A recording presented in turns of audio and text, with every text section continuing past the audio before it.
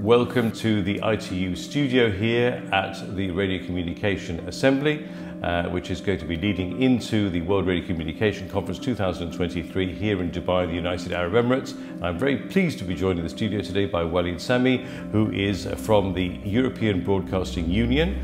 And uh, we have uh, spoken a number of times before, yes. um, in fact, at the last World Radio Communication Conference as well. Uh, Walid, welcome to the studio. Thank you very much, Max. I'm happy to be here.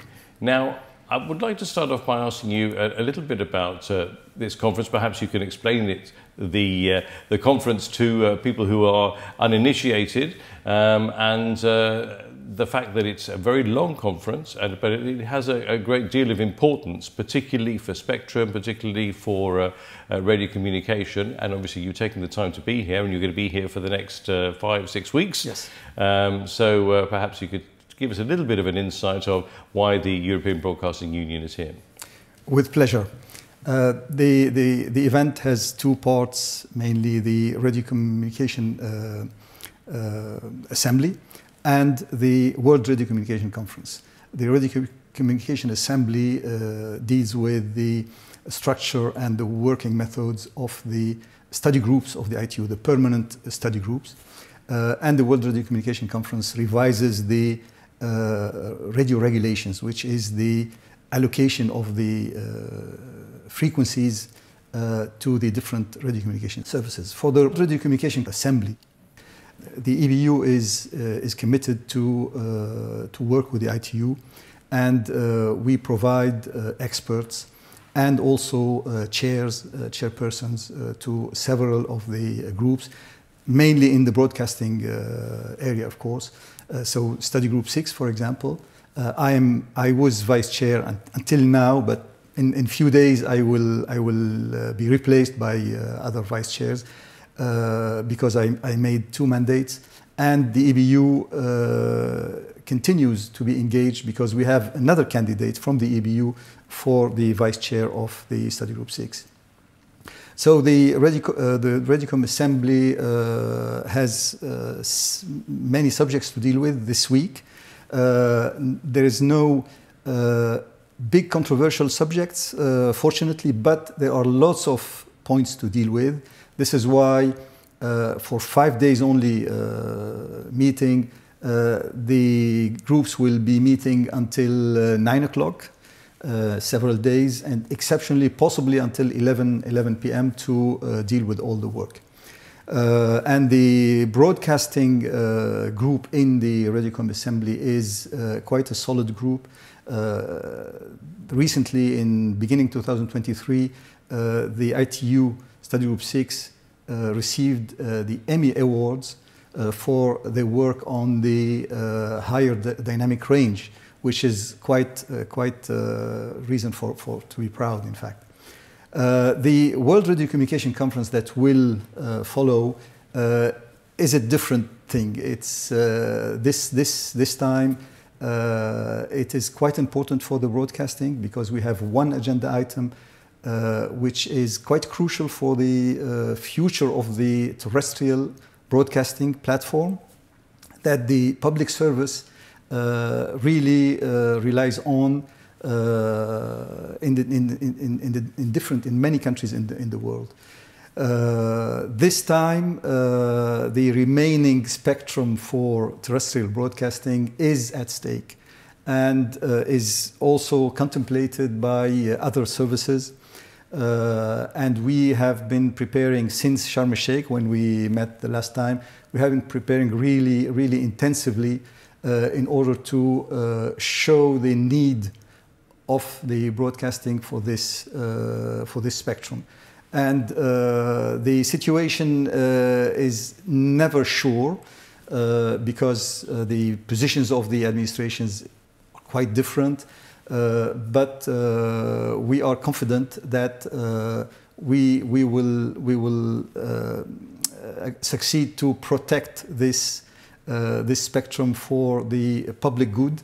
let's say this is the, the only remaining spectrum uh, for broadcasting and for the uh, cultural industry, like the radio microphones that you certainly are using now, Uh, they use the same spectrum in sharing conditions with broadcasting, and uh, we, we, think that this needs to be uh, preserved for, for, for, for, this usage. And how hard is it? I mean, uh, there are going to be 4,000 delegates probably here in, in, in, the, in the course of uh, the, the, next few weeks. How hard is it for, to, for a, agreements to be reached and, and for for, for spectrum to be protected, etc. You know, for the, the, the, results to be achieved that uh, um, that you, you, you think would be uh, beneficial to the, the globe. It is very hard uh, because the decisions should be taken by consensus. There is no counting of votes. Uh, and this makes it very, very difficult, especially when a subject is uh, is, uh, has different positions, very opposite positions between the administrations. So uh, there will be lots of uh, discussions, negotiations in order to uh, find uh, ways and solutions for, for this. And fortunately, the radio regulations provide a large number of solutions, of possible solutions, to satisfy, let's say, partly, partially uh, everyone, but as in many uh, places, uh, the, the solution that will be agreed will be agreed because everyone will be unsatisfied, not because one is satisfied and uh, another one is unsatisfied. Th this is what this is how I see the, uh, the things. Let's talk about the study groups because I know that obviously you've been very involved with those, uh, when particularly with study group six the Emmy Award, obviously a very satisfactory result there. Um, how does the work of the, the study groups contribute to innovations such as uh, the one that uh, was premiated? Well, um, as, as I said, uh, the, this is a very, very, very good example. The, the study groups, they gather experts from uh, the member states and the uh, sector members. And they, they, they come with the innovation that they are developing in their, in their organizations. But the, the value of doing this in ITU is that it becomes accessible to the wider community. Uh, the, the developing countries do not have the same, uh, the same resources as the developed countries. And uh, the ITU is connecting all these uh, experts together in order to share this, this knowledge and for the benefit of, of everyone.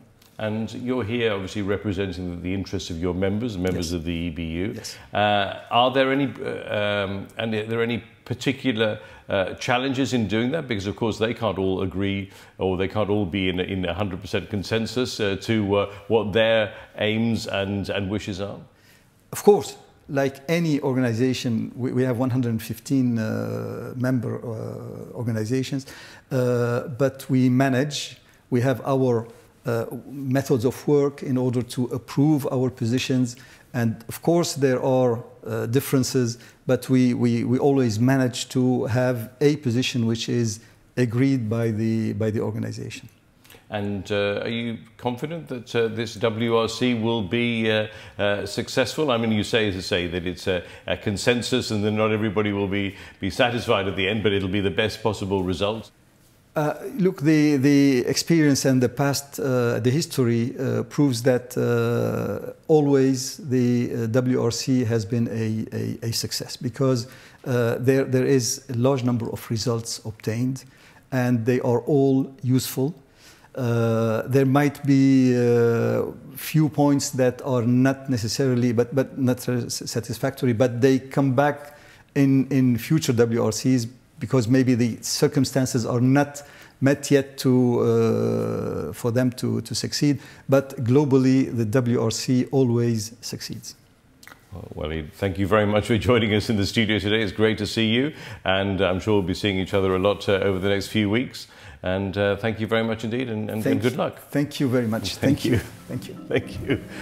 And uh, do join us uh, for more interviews on the ITU YouTube channel and uh, SoundCloud as well. And we will be uh, doing a number of these interviews here in the ITU studio here in Dubai at the World Radio Communication Conference.